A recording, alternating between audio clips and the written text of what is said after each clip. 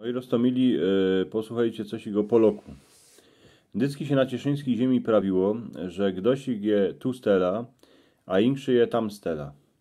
Ale gdosik tam stela, to mógł być jakiś chłop, co bywał baj dwie dziedziny, dwie dziedziny dali, a sprawował auta, a tam stela to mogła być a i paniczka, co przedowała na torgu w Cieszynie, a była aż ze strumienio. Tam stela znaczyło, że Gdosik nie ma stela, ale było kańsik indzi na cieszyńskiej ziemi. A jak Gdosik przydrepsił baj z rybnika, to przeca był Hanys, lebo Prusok. Godą, a nie rządził, a ta jego rzecz była ganz podobno do naszej, tuż my cesarocy go mieli jako za sąsiada. Tuż dobre, jak se cesaroczka wzięła Prusoka, lebo Prusok cesaroczkę, to jakosik się familie po, pospołu poradziły dorządzić lebo dogodać. Jeszcze zależało, czy się dziołcha wydała do chłopa, albo chłop się ożenił do dziołchy, bo po tym dziecka bardziej rządziły, albo więcej godały. No ale stało się wiele razy tak, że na cieszyńską ziemię przywandrował Polok albo Polka, wiele razy za robotą, a na muzyce zaczęli mówić z cesaroczką albo z cesarokiem. Wiecie, hańdowni z tego były kapkę kurowody, bo przeca się prawiło dycki tak, że dziołcha by miała się wydać za synka Stela, a synek by se miał zebrać dziołchę, co ona też jest Stela. Ale po wojnie we werkach, a na szachtach robiło kupa ludzi, co oni przyszli z Polski. Kupa takich dziołch a synków.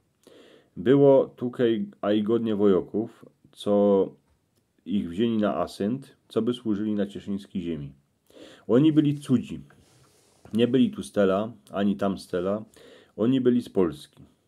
Więcej jednako było synków jako dziołch. Tuż taki Polok, Bajwojok, szał na muzykę na dziedzinie, ale nigdy nie był sam. Dyski musiał mieć jakichś kamratów kole siebie, bo inaczej by mu syncy Stela na isto wchynyli.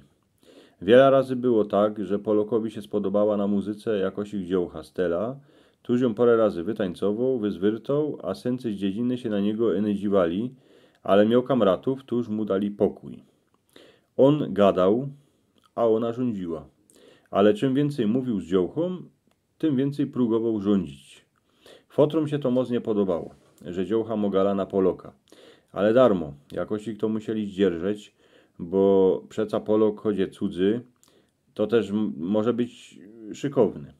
Na wiesieli przyjechała familia Kańsik z Polski, z dziedziny, co je daleko y, Kańsi aż od Rzeszowa. Najprzód gadali, a potem jak już wszyscy się napili gorzołki, to już nie było poznać, kto jest Stella, a kto jest tam Hanej daleko z Polski.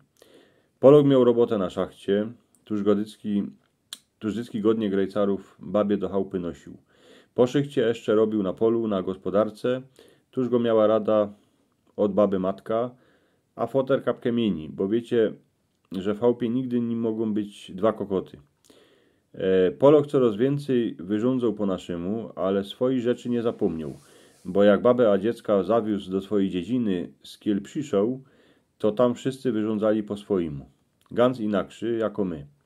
Polok był szykowny, choć familia prawiła dziołsze, co by se go nie brała, że i narobi dziecek, a będzie z niego lump. Wiecie, kiejsi hańdowni mm, się na Polaków tak prawiło z tego, że oni byli cudzi, a nie byli tu stela, a to, co jest cudze, czego ludzie tu stela nie znali, mm, to na to się trzeba było dodać pozór. Polok dziecka z babą wychował, one go fest miały wzocy, choć czasem jako każdy fotel im pożyci wyżazą, ale to matka cesaroczka uczyła dziecka pumbuczka znać, a rządzić po naszemu. Polog jak, jak umierał, to już był ganz tustelok, ale jak oczy zawierał, to co jeszcze wspomniał tą swoją dziedzinę Kańsik w Polsce, kole Rzeszowa, co y, w tej dziedzinie go matka kolybała, a cisła go ku sercu.